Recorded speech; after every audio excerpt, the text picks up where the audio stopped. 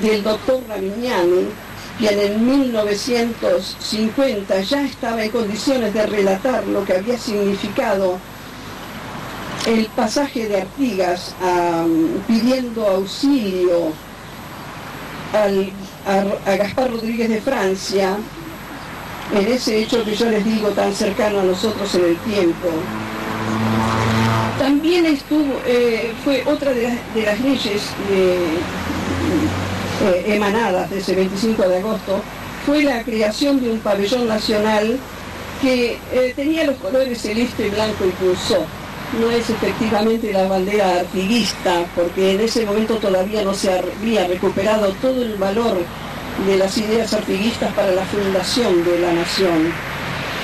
Eh, se hubo, sin embargo, una idea de independencia que fue creciendo lentamente, una idea de unión con las restantes provincias.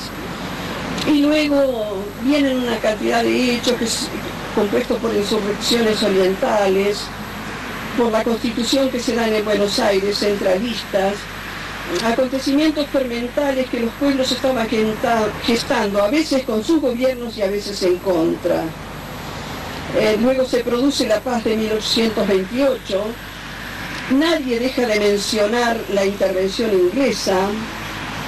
Sin embargo, Lord Ponsonby, un inglés que residía en Buenos Aires y que estaba enamorado de una dama imposible, que odiaba el frío y hasta el olor de Buenos Aires, y nosotros hemos sido bendecidos con el calor del sol en el día de hoy para que este acto tan maravillosamente organizado por el señor Joseph Leme tenga lo que le hacía falta, el sol que brilla en nuestras banderas.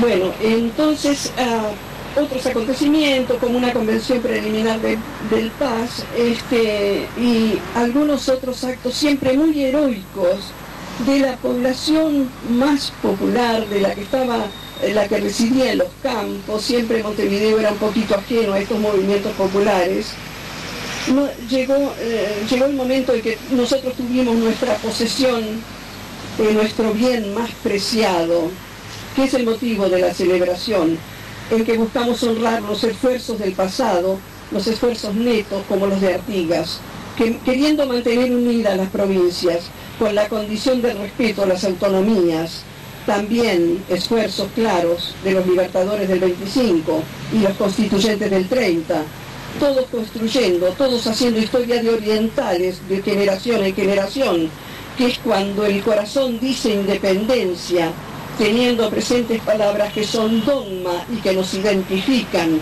las que están contenidas en el gran mensaje de nuestra, de nuestra historia, dijo Artigas. Un lance funesto podrá arrebatarme la vida, pero no envilecerme. El honor ha formado siempre mi carácter. Él reglará mis pasos. Y así fue.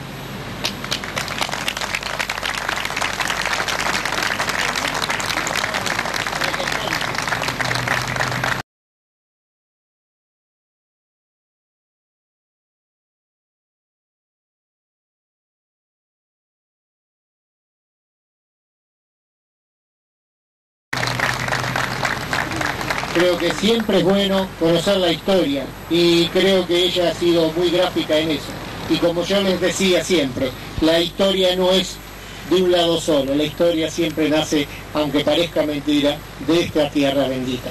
Y bueno, también nos acompañan y hablando de esa bandera de Entre Ríos, que es parte del corazón de Artigas.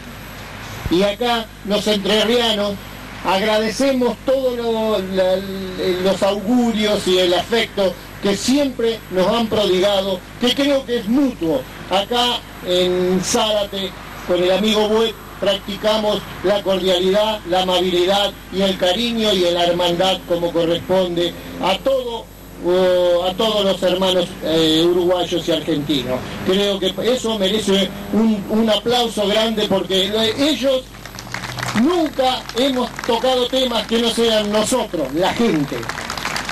También tenemos de Colombia, tenemos un señor que está muy ligado a Zárate, acá un amigo a quien también de la, de la Embajada de Colombia nos está acompañando. Que no quiero decir porque yo siempre te digo el sobrenombre. bueno, eh, seguidamente, señor Intendente, la palabra es suya. Usted es el dueño de casa.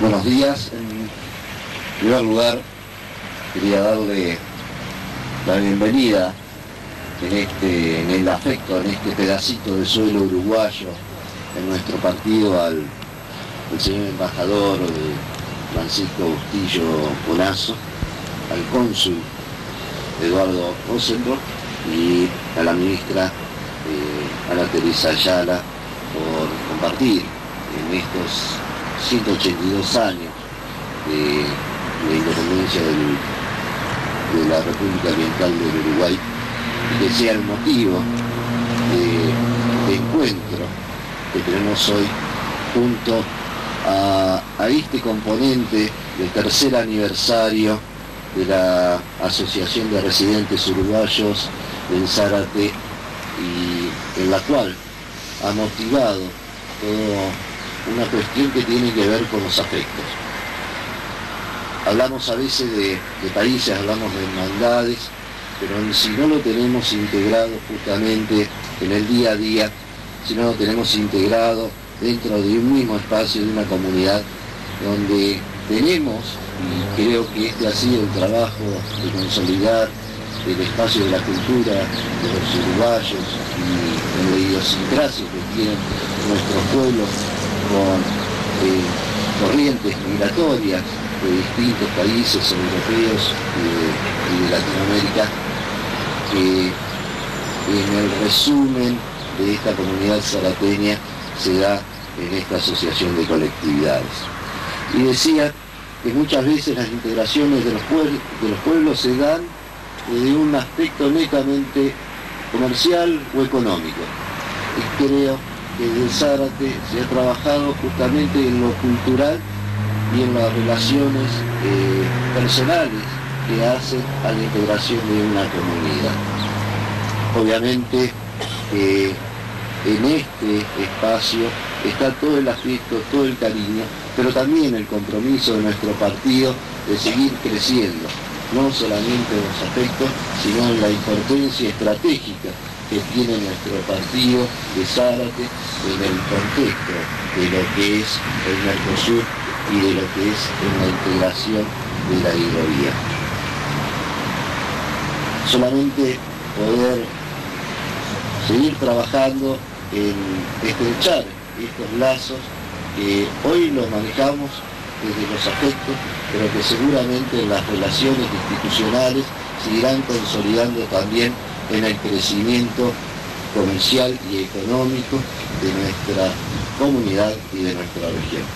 Solamente agradecerles al resto de las instituciones que acompañan este evento y de poder seguir trabajando como lo vienen haciendo y siendo un ejemplo para el resto de la sociedad zarateña. Muchas gracias. Muchas gracias, señorita Ernesto.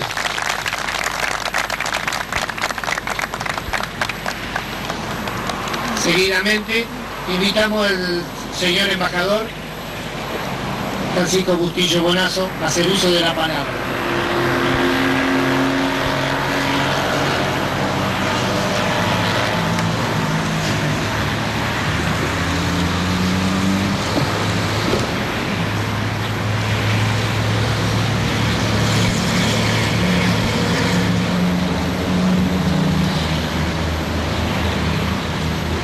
Intendente Municipal de Zárate, Omar Bernués, señores representantes de las Fuerzas Armadas, autoridades todas, señor Presidente del Centro de Residentes Uruguayos de Zárate Campana, General José Gervasio Artigas, con su Sergio Josep Neme, compatriotas rioplatenses, amigos, amigas.